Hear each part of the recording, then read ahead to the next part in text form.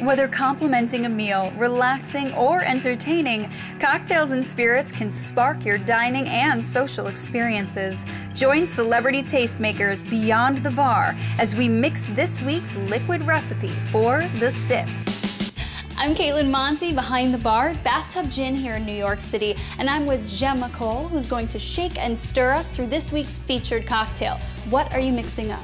As we're in New York City, I thought the perfect drink would be a Manhattan. My dad loves them. You can make one for your dad if you like. The Manhattan is typically made with rye, but we're going to use Tullamore Dew 12 Year Special Reserve. How much do we start with? Two dashes of Angostura bitters, another two dashes of orange bitters. Now those two I see in a lot of cocktails, but the next two I don't see as often, or at least not the cherry.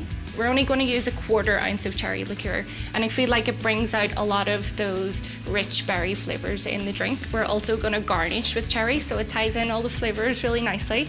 A half ounce of sweet vermouth and two ounces of Tullamore Dew 12. I prefer the spice of the 12 year. It's more reminiscent of a traditional Manhattan. It's always best to pre-chill your glass. You don't want to be pouring a nice cold cocktail into a warm glass. You're going to have a warm cocktail very quickly. Fill it with ice, a little bit of water, and just let it sit and let the glass get really cold and frosty. Then we want to fill your mixing glass to the top with ice. So we're going to give this a stir. Why do you stir for some drinks and why do you shake for others? A drink such as the Manhattan, we would stir. It gives us more control over the temperature and the dilution of the drink. It also means that we don't get any air bubbles or ice chips. Once you've stirred the drink and it's cold enough and the dilution is right for your palate, discard the ice from your pre-chilled ice glass. Then we're going to pour the cocktail into the glass using our Hawthorne strainer. What is a Hawthorne strainer? It's just a different type of strainer. This one is great for big chunky ice cubes.